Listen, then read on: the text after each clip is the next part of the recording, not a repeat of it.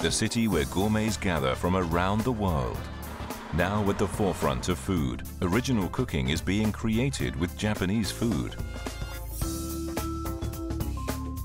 Sneak into the kitchen of a popular restaurant and Um, while we let that saute down, then we grab our little secret ingredient, which we have over here. What are the secret ingredients? And our secret ingredient for this one is a little bit of shirodashi. it's Japanese shirodashi. At this restaurant, shirodashi, white soy sauce with soup stock, is used to flavor various dishes. It brings out the depths of the flavors and is popular among the customers. It kind of brings it over the top. That would be this, our shio kombu. Japanese eggplant is grilled and the topping is shiokombu sauce with pine nuts and bacon. A mild-tasting appetizer with an unfamiliar texture has impressed New Yorkers with discerning taste buds. In fact, a certain taste which Japanese cuisine has valued has become a global boom. I know umami, yeah. I know umami. Yes, I heard the word mommy. Yes, mommy, yes.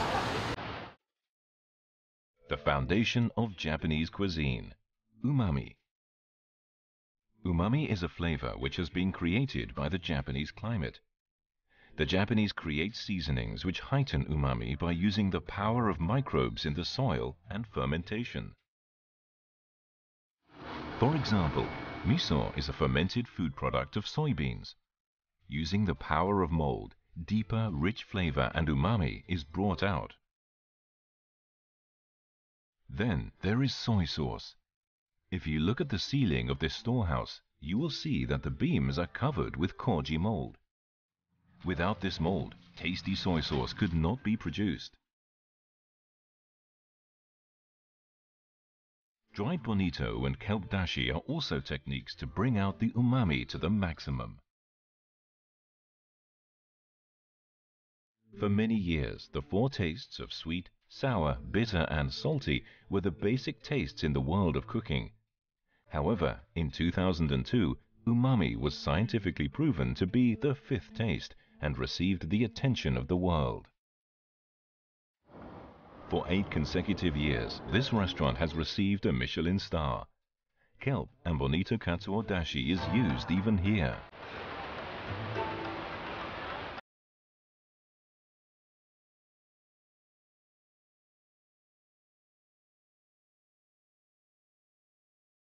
In New York, there is an umami shop and even an umami burger.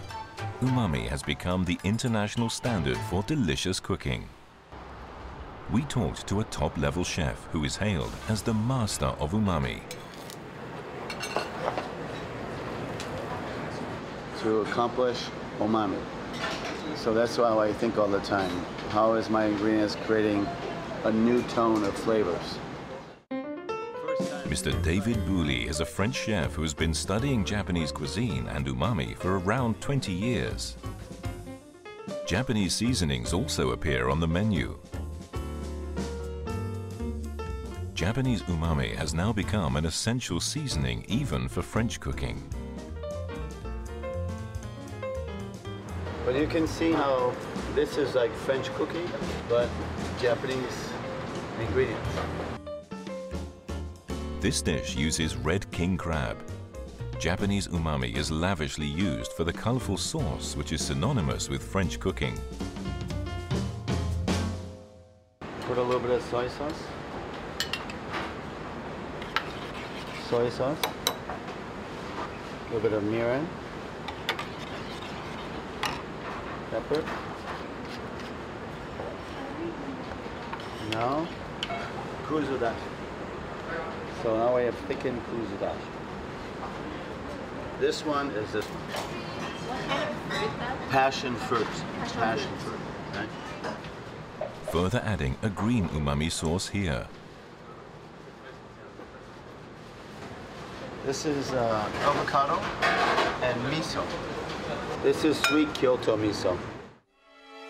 This is an original sauce mixing avocado and Kyoto-style miso. The sourness of the passion fruit, the dense richness of avocado, and the sweetness of the red king crab are well combined. Fusion with the Japanese umami creates cutting-edge French cuisine. The Japanese chef is looking for all the nature power to reach a new level. But it's very hard to, to pass Mother Nature. Japanese food has been in step with umami from the distant past, bringing out the workings of nature. Umami is now changing the world's food.